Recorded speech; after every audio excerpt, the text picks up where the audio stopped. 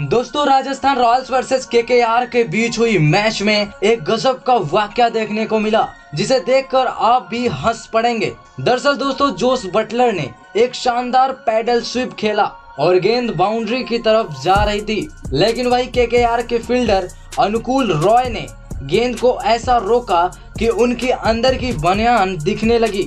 दोस्तों Jos Buttler के चौके को रोकने के लिए अनुकूल रॉय ने एक बड़ी छलांग लगाई और गेंद को बाउंड्री लाइन टच करने से पहले ही रोक लिया। लेकिन ड्राइव लगाने के कारण उनकी पतलून नीचे खिसक गई, जिसे देख सभी लोग हंसने लगे।